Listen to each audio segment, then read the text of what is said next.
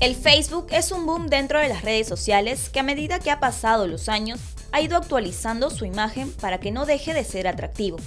Joan Manuel Flores Estrada es especialista en creatividad publicitaria, además de docente de nuestra FACO, y fue quien nos dio claras luces sobre la evolución de esta plataforma. Es que poco a poco hemos perdido nuestro lado, yo diría que nos hemos dividido, ¿no? Antes teníamos la parte este, física y la parte espiritual junta, ¿no? Ahora nosotros tenemos las dos cosas separadas, ¿no? ¿Por qué? Porque paras absorbido tanto en redes sociales. Tú buscas una exclusividad, pero es como una especie de persecución. Te metes en una red social para ser exclusivo y de repente comienza a llegar una mixer, otro y se llena, ¿no? A fin de dejarse entender, Joan dio ejemplos que reflejan una realidad innegable, la manera como muchas veces los usuarios se convierten en algo cercano a un androide, dejando de lado a quienes tienen alrededor. Es el día de cumpleaños de tu mamá, ¿no? Y pones en el Facebook, ¡Feliz cumpleaños mamá! ¡Te amo mamá! ¡Mamá! ¡Te adoro! ¿Te toca la puerta de tu mamá? Hijita, ya, ya, ya mamá, un ratito.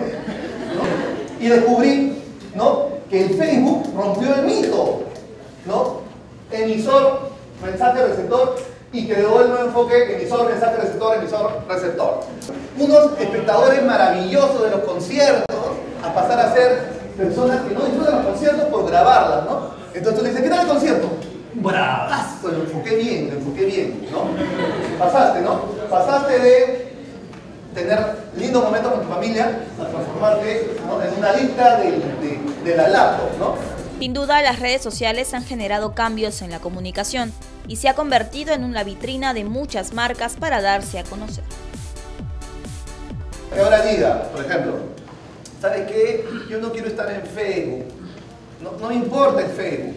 ¿no? no me importa el Twitter. No me importa. Simplemente no está acorde con el contexto. Vivimos, démosle su espacio al Facebook. No lo transformemos en el Facebook porque la masificación y el estar metido transforma al Facebook en tu, en tu estilo de vida y al transformarlo en tu estilo de vida te transformas en un ser ya menos robotizado, en que empiezas a deshumanizarte. La gran acogida que ha tenido las redes sociales es algo de lo que muchos somos testigos, pero no dejemos que la comunicación virtual termine por reemplazar nuestras actividades.